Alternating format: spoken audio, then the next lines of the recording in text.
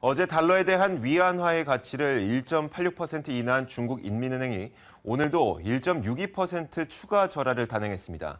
이 같은 소식에 달러 원 환율은 큰 폭으로 올라 3년 10개월 만에 가장 높은 수준을 나타냈고 우리 주식시장도 크게 밀려났습니다. 최종근 기자입니다. 중국의 중앙은행인 인민은행은 오늘 위안화 기준 환율을 달러당 6.3306 위안으로 고시했습니다. 전일 대비 1.62%나 위안화 가치를 낮춘 겁니다. 인민은행은 어제도 달러 대비 위안화 가치를 하루 변동폭으로는 사상 최대인 1.86%나 평가 절하를 단행한 바 있습니다. 2005년부터 관리 변동 환율제를 적용하고 있는 중국은 위안화 환율 변동폭을 기준 환율의 2% 이내로 매일 고시하고 있습니다. 이틀 새 위안화 가치는 3.51%나 떨어졌는데 최근 중국 경기가 둔화되고 있는 가운데 수출 경쟁력을 강화하기 위한 의지로 풀이됩니다. 중국의 위안화 평가 절하 조치는 우리 금융시장을 크게 흔들었습니다. 당장 서울 외환시장에서 원달러 환율이 어제보다 11원 70전 오른 1190원 80전에 마감했습니다. 2011년 10월 이후 3년 10개월 만에 가장 높은 수준입니다.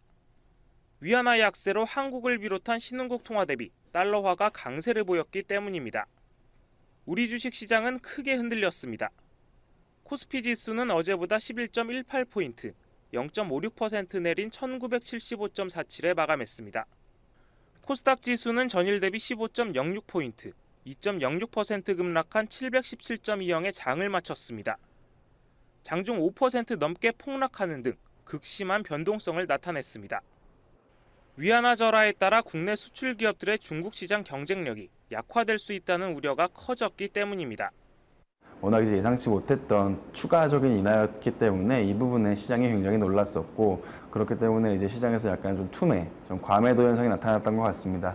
일단 단기적으로 그 중국의 어떤 환율 정책에 대한 불확실성이 높기 때문에 이러한 부분이 해소되기 전까지는 계속해서 조금 어, 변동성이 높은 시장 흐름이 이어질 것 같고요. 인민은행의 유례 없는 위안화 가치 절하 조치를 미국과의 통화 전쟁을 선언하는 것으로 보는 시각이 적지 않습니다.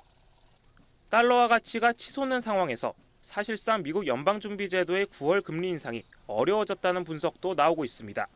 머니투데이 방송 최종근입니다.